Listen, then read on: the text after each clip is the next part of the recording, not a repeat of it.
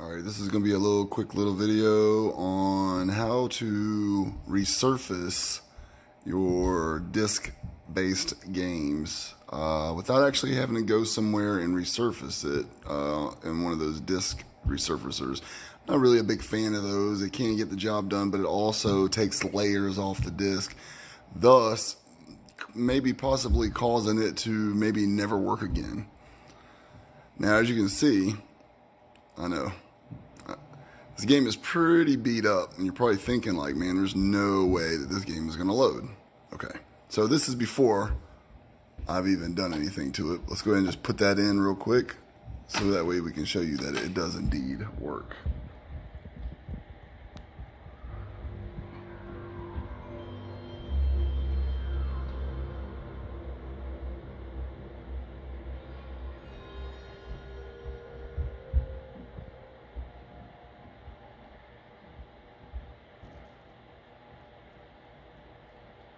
Right, and as you can see, it is booting up. Actually, fairly fast. Let's go ahead and uh, take the disc back out and uh, we'll go ahead and get to, you know, what you need to do. All right, so go ahead and get you a surface. Oh, God. go ahead and get you a surface where you can, and just to show that it is the same game, go ahead and uh, put it down in the surface that you don't mind, you know, being able to work on. All right, and I like to use isopropyl uh, either 91% or higher. 99 would probably be the best, but I usually, you know, 91% uh, or higher, definitely. So get you a Microsoft, uh, Microsoft, uh, fi microfiber, sorry, uh, cloth. And I like to just put, you know, a good little bit on there you know, give her, you know, a good little bit. And we'll start that off, the process, and get that up. And go ahead and just clean it, you know, a good bit. And I like to, you know, you want to go down, never in a circular motion, just down. And that, that, that gets it started with a good clean, you know, get it all nice and clean.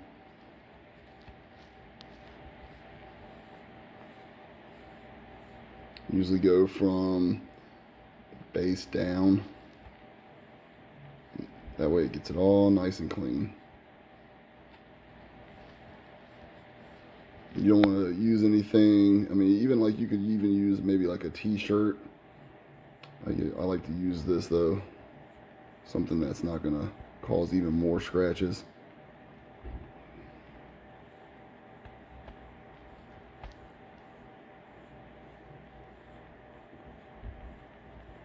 All right, this seems pretty decent.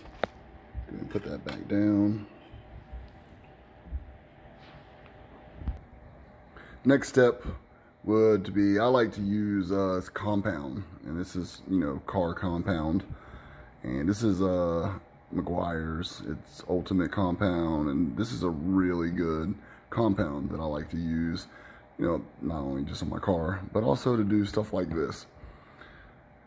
Also, make sure you have like maybe like a, like I said, you could use a, a microfiber uh, cloth or for this step, I'm gonna go ahead and just use like an old t-shirt or whatever. What you wanna do is, and then just barely put, and this is just to show, it is still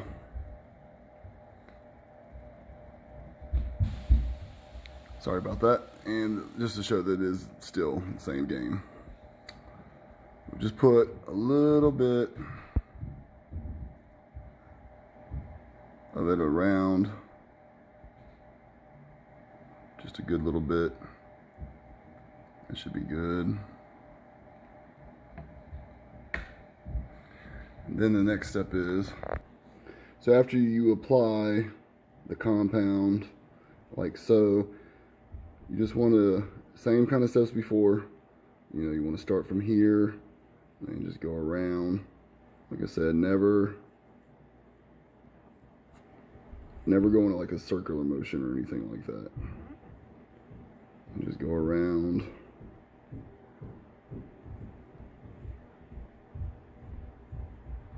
And what this is doing actually, because it's compound. This is going to actually fill in the light or even deep scratches. Now, if it's too deep, obviously, if you can see through the disc, then you're, you know, you're pretty much, you, you're screwed out of that. Uh, this won't, won't help if it's see-through because it's already damaged uh, the disc. And that's not going to help it, not even taking it to a resurfacer, which that's actually going to make it even worse. So yeah, what you want to do is just go around it, go around it.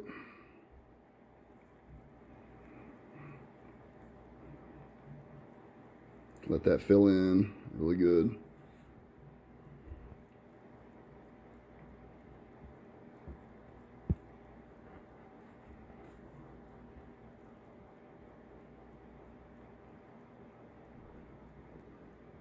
Again, this is going to help fill in those scratches. And then, let's see, let's go over the side and get a little bit more in there. But again, like I said, this is going to help fill in the scratches. Spin it around, try to get that in there good.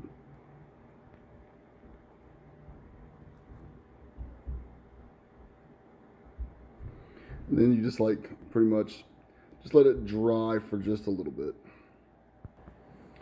All right, so we're back. So now after it's set for a good little bit, I don't know, five, maybe 10 minutes or so, you go ahead and get it up. Now it's not completely dry everywhere. As you can see, it's still a little bit moisture. You could let it sit a little bit longer if you'd like. And then you could also apply another mount as well, but I'm gonna go ahead and just show you guys. So what you wanna do is go ahead and just wipe it off, you know. Down with the down motion like I showed you before.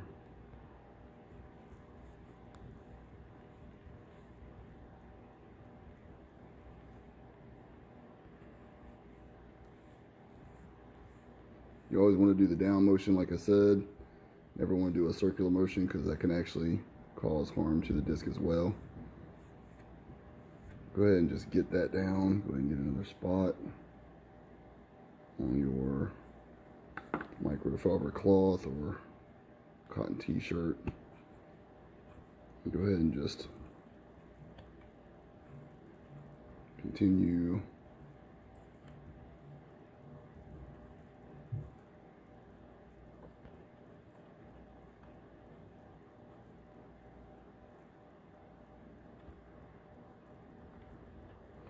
again, what this does is it helps fill in those scratches. So that way the laser can get to the parts that it needs and doesn't run into those scratches, light or even deep. Causing the game to either not play or skip around and stuff.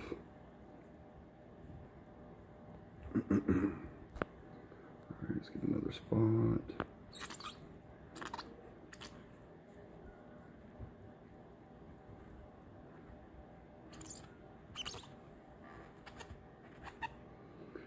now this obviously isn't going to, you know, make it look brand spanking new or anything like that. But it does help the process out and fill in all those either light or even deep scratches. And you will notice a bit of a difference in the disc as well when you're done. Get that right there.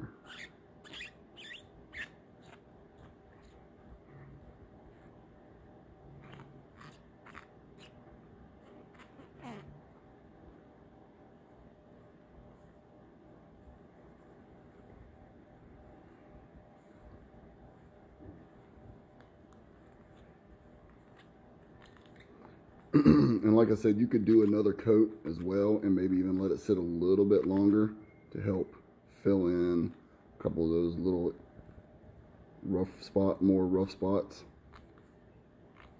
But just to show you guys that this does work. I'm just gonna do this one real quick. Make sure I get the access around the around the ends there. Let's wipe it one more time. Just to make sure before I put it back in the game or the PlayStation.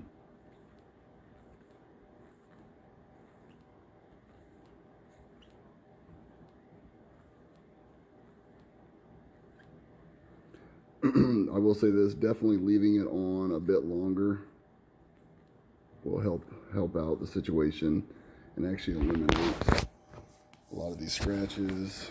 Give me one second. And as you can see, it's still, like I said, it still has like the scratches or still looks like it, but that compound definitely helps fill it in a, a bit better, thus making it read a lot better. And uh, let's go ahead and let's go ahead and put it in. All right, let's go ahead and open it.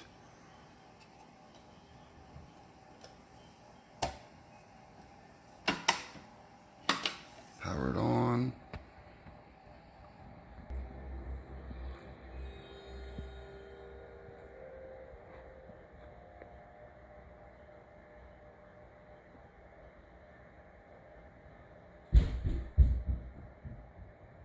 and you can see the game loading up.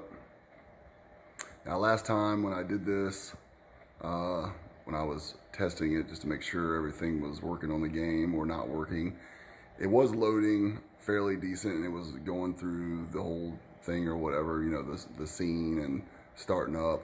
But I did notice that there was a, a few times where it was like, not really glitchiness, but, you know, hesitating to read the disc. And so far this time around, it definitely is loading the game and reading it better. I'm not really seeing the jump around that it was doing before.